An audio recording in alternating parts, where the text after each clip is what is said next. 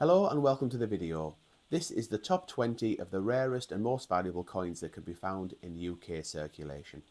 Stay tuned till the end of the video. I've got a special mention for the 10 pences, but this is going to be concentrating on 50p's and £2 coins. So let's get straight into it. This is Olympic Goalball. It came out in 2011. It's got a mintage of 1,615,500 and its value, depends on the condition, is worth up to £3. Number 19 on the list is Olympic Tennis. It's 1,456,000 are in circulation. That's its mintage figures. You'll have to get used to a lot of 2011 coins. There was 29 that were minted in total to commemorate the 2012 London Olympic Games, and there's a fair few in the top 20. So that's value, £4 minimum, maybe it's up to £5, especially this one because it's in lovely condition. We found this in, we found all these coins in circulation on our coin hunts. Okay, the next two coins both came out in the same year, 2018. They're both part of the Beatrix Potter series and they both have exactly the same mintage and value. So mintage is 1,400,000. This is the Peter Rabbit, the Flopsy Bunny, and they're both worth four, five, maybe even six pounds depending on the condition. We're back to the Olympic coins now, still on 50 pences. This is the triathlon coin. You can see the three sports there. It's got a mintage of 1,163,500 and value 10 to 12 pounds. Olympic Judo, that's the next one on the list. Similar mintage, super low at 1,161,500. Similar value 10 to 12 pounds. The wrestling coin, now this is slightly lower mintage than the uh, than the judo. This is 1,129,500 and it's not quite as valuable. This is 10 pounds, 8 to 10 pounds. It's not quite as popular. Scarcity has an impact on value, as does quality, but also uh, its popularity as well. So people tend to maybe it's not favour this wrestling coin as opposed to the judo coin, even though the mintage is lower. But this one's in stunning condition. So Lady M and I found this in our coin hunts on our channel, and it's worth 8 to 10 pounds. Right, the final Olympic 50p on the list, although there is some Olympic £2 to come up as well. This one is Olympic football. It's the offside rule explained. Its mintage is 1,125,500. Again in 2011 it came out. It's the rarest Olympic 50p. It's also the most popular and that's reflected in its value. You're looking at at least £15 if you find this coin in your change or in circulation. Right, we'll move on now from the 50p's to some £2 coins. So this is number 12 on the list of the top 20. This is the King James Bible. It's a £2 coin. Came out in 2011. It's minted. All the £2 coins are under a million mintage. This one was 975,000. Its value, somewhere between 5 and 7 pounds, depending on the value. You will find that the £2 coins are not as valuable as the 50p's because the 50p's are generally more popular with collectors. Right, we're back on the Olympic theme here, 2008. This is the Beijing coin. So Beijing, or the Beijing handover to London coin, I should say. So in 2008, they handed over the Olympics from Beijing to London, ready for 2012, and the Royal Mint released this coin to commemorate that event. This is a mintage of 918,000.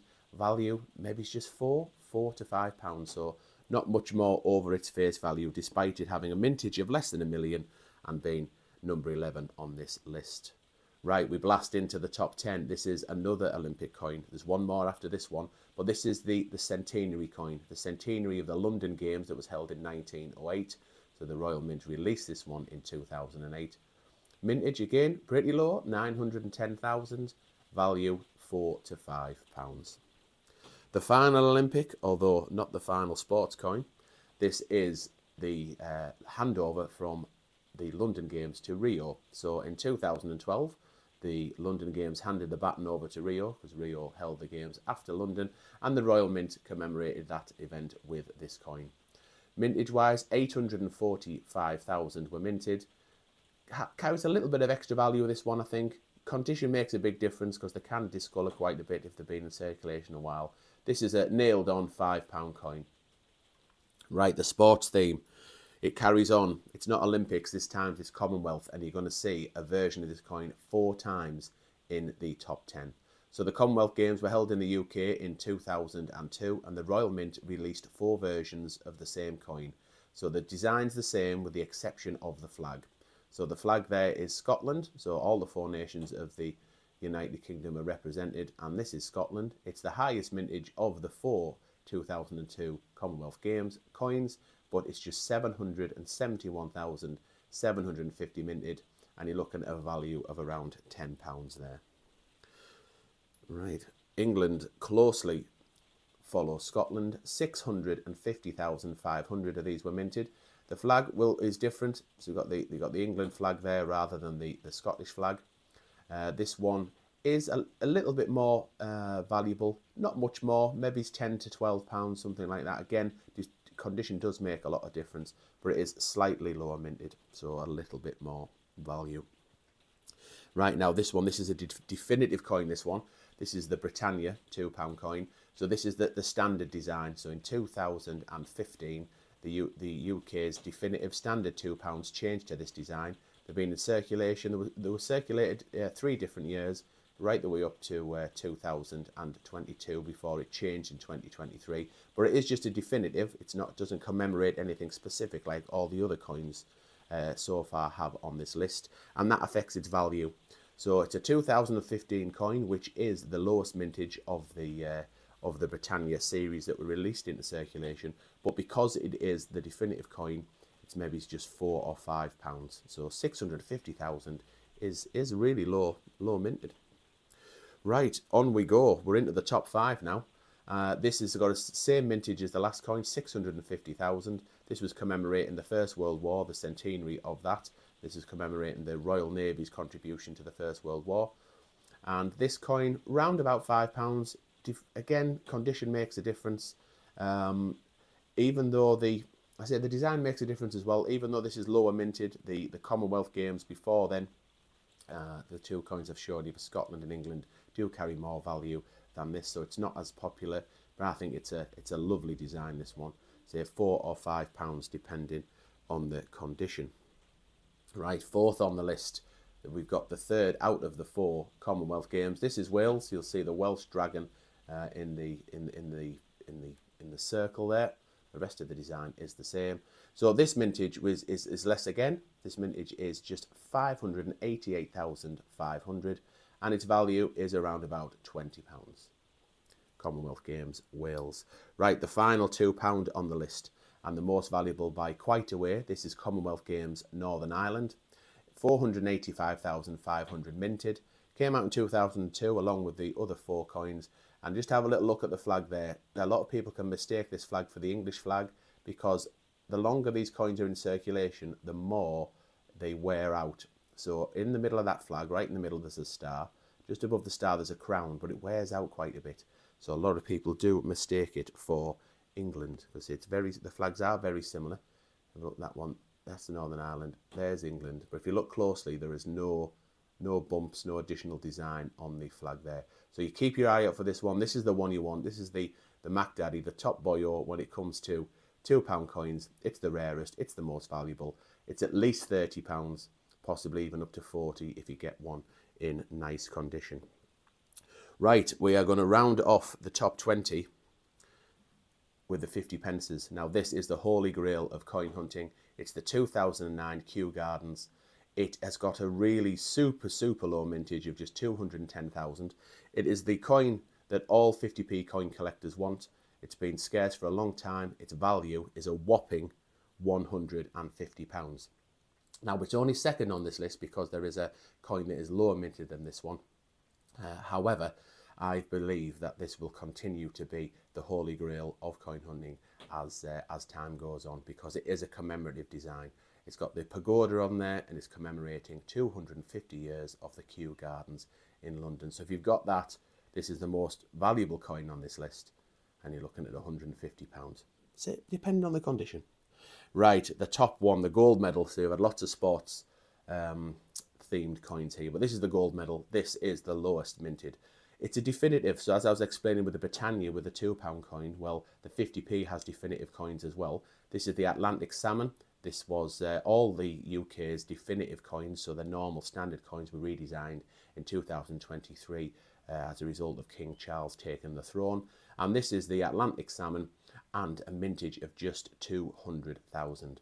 Now, its value round about £100. When the mintage figures were released in 2024, so the release one year after this coin was released into circulation, the coin did rocket to £150. The, there was quite a bit of hype and it did die down a little bit. I think it'll continue to be uh, the, the, hype. I don't think will continue, or it'll it'll hover around about the hundred pound mark because the, the the the Kew Gardens will continue to be the most sought after because it's definitive. This one isn't. So in this is a 2023 coin. There's a version of this with a crown at the bottom of the king's head as well that came out in collector's pack. They also released another version of this in 2024. And as time goes on, they'll release more and more for you know in many years to come. So I think it'll just make this coin less desirable. So even though it is the rarest in UK circulation, it is not the most valuable. The Kew Gardens is. So there you have it. Keep an eye out for that your change. Now, I promised you an insight into the into the 10 pences. So these are, well, these are a phenomenon. So in 2018 and 2019, the Royal Mint released A to Z 10p sets. So 26 different designs, all with each with a, a different letter on, A right the way to, to Z. And um, yeah, these are oh, ridiculously, ridiculously low minted almost impossible to find in your change or in circulation because they're super low. Now, in 2018, so this coin the, with the A on is a 2018, so let me just show you. So in 2018, every letter had the same mintage figure. So it was 220,000 of the 2018 coins was released. So slightly higher than the Kew Gardens at 210,000. So what they weren't the rarest in circulation at the time, but pretty close to it. So every letter A to Z, 2018, 220,000. And they, I say they, they do attract a premium. These the, these coins you can be you can be looking per coin absolute minimum kind of three, four, five pounds, but they go absolutely insane when exactly the same design, but with just 2008, uh, 2019 on the front there. The prices go absolutely ridiculous. So you could pay £22 for the letter A if it was a 2019 coin. And this letter Z, just 63,000 of these were minted. So value, it's difficult to, to, to, value this one because the letter A is more valuable. I think generally speaking, it's accepted that people, the, the, the vowels and the ones that have got a lot of letters in, in, in standard names or popular names in, um, in, in the UK attract more value. So if people want to, you know, want to have the, Uh, the vowels, the A is more valuable than the Z because there are not many maybe names that have a Z in, for example. So popularity does make does make a difference. So that's a generalisation, but you but you get the gist. So the A is more popular than the Z, and there's a few anomalies in between. So the B is for James Bond, so that's that's quite popular as well. But yes, you can be paying twenty pound plus for some of these letters.